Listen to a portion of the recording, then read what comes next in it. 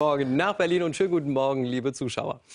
Nordrhein-Westfalens Innenminister Jäger hat scharf auf die Übergriffe reagiert, die es in der Silvesternacht rund um den Kölner Hauptbahnhof auf Frauen gegeben hatte. Wir nehmen es nicht hin, dass sich nordafrikanische Männergruppen organisieren, um wehrlose Frauen mit dreisten sexuellen Attacken zu erniedrigen, zitieren ihn zwei Kölner Zeitungen.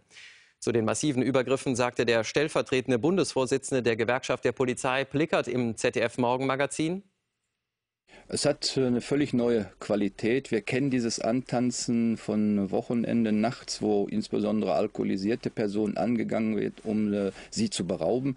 Dass es jetzt noch äh, in Verbindung mit Sexualdelikten geschieht, ist eine neue, äh, neue Qualität und es ist ungeheuerlich und ist unfassbar, muss man deutlich so sagen.